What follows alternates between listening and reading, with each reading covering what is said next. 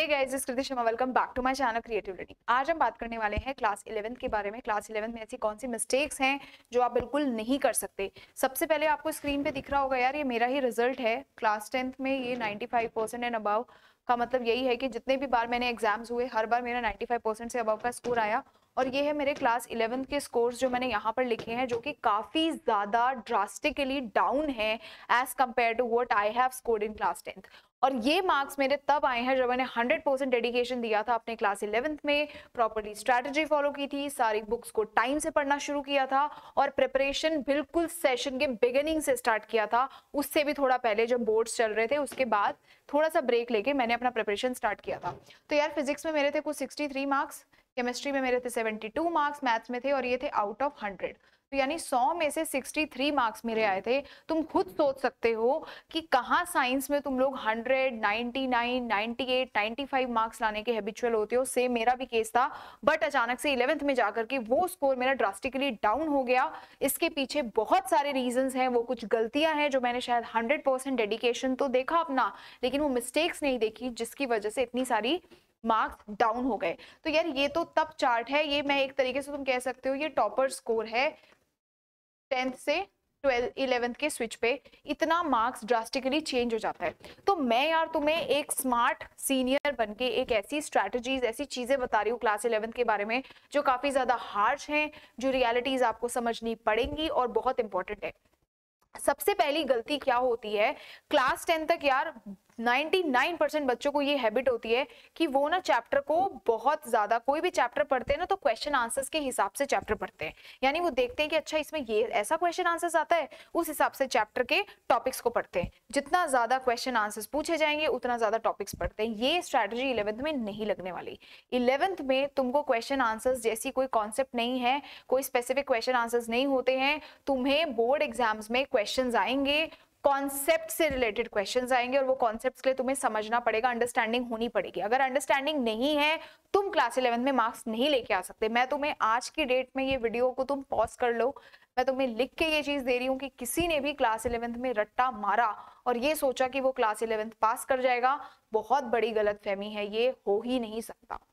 मैं तुम्हें अभी झूठ नहीं बोल रही हूँ, मेरी क्लास में केवल चार बच्चे फिजिक्स में पास थे, बाकी पूरी क्लास फेल थी। कोई 33 मार्क्स तक भी स्कोर नहीं कर पाया था 100 में से, क्योंकि तुम जब इलेवेंथ की पहली बार फिजिक्स देखोगे तो तुम्हें पता चलेगा कि यार ये तो बहुत ही अलग कॉन्सेप्ट है, इधर तो पूरा गेम ही अलग है, यहाँ तो तरीके ही अलग है। तो तुम बिल्कुल भी रट्टा मार करके तो अपना इलेवेंथ क्रॉस नहीं कर सकते स्पेशली तब जब तुम साइंस बैकग्राउंड से हो। फिजिक्स का तुम कुछ भी रट्टा नहीं लगा सकते, तुम्हें इवेंचुअली पढ़ना ही पड़ेगा राइट आई होप ये समझ आया होगा। दूसरी गलती बच्चा क्या करता है यार, सबसे बड़ी मिस्टेक जो मैंने भी करी थी, वो टेंथ का अपना ट्रेडिशनल तरीका होता है ना नोट्स बनाने का, जैसे हम लोग होते हैं घिस घिस के सजा सजा के नोट्स बना रहे होते हैं, ये इलेवंथ में नहीं चलता। इलेवंथ में बहुत सिलेबस है।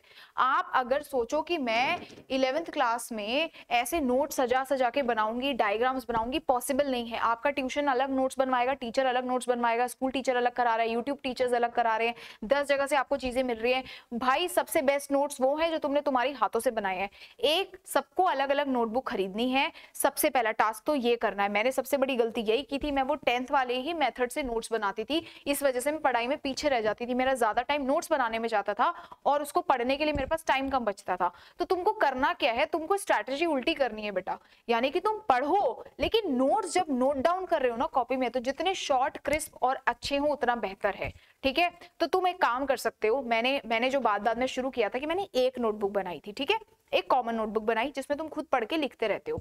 वही नोटबुक मैं स्कूल भी लेके जाती थी। जब मेरा टीचर कोई पॉइंट बताता था या कोई अच्छी चीज़ें बताता था, मैं उसी नोटबुक में कहीं पे वो नोट बना के लिख देती थी। सेम नोटबुक मैं अपने ट्यूशन में जा रही थी तो वो नोटबुक मैं ट्यूशन में भी लेके जाती थी कि अगर मेरा ट्यूशन टीचर भाई मेरे को इससे रिलेटेड कोई इंपॉर्टेंट चीज़ बताएगा, मैं उसी नोट्स में उसी जगह पे लिख दूँगी। इससे क्या हुआ कि एक पर्टिकुलर टॉपिक के बारे में, मान लो एक पर्टिकुलर टॉपिक के बारे में, जो भी तुम्हारी इंफॉर्मेशन है, इस पर्टिकुलर टॉपिक के बारे में, वो तुम्हें अलग अलग जगह से आ रही वो तुम्हें ट्यूशन से भी आ गई, वो तुम्हारे स्कूल टीचर की भी आ गई, वो तुम्हारे साथ के साथ, तुम्हारे जो तुमने यूट्यूब देखा या वीडियोस देखी, वहाँ से आ गई।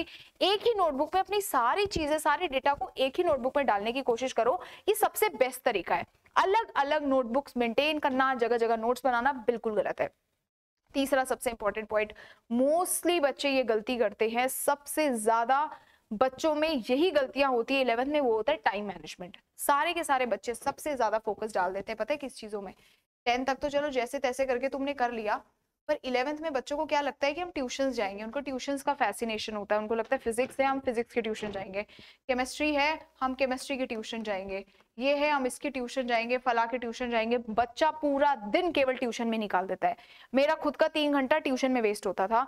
स्कूल जाती थी, वापस आती थी, तैयार होती थी ट्यूशन जाती थी। आठ बजे तुम घर आ रहे हो, सुबह से तुम शाम तक एग्जॉस्ट हो, उसके बाद तुम सेल्फ स्टडी कर ही नहीं सकते हो।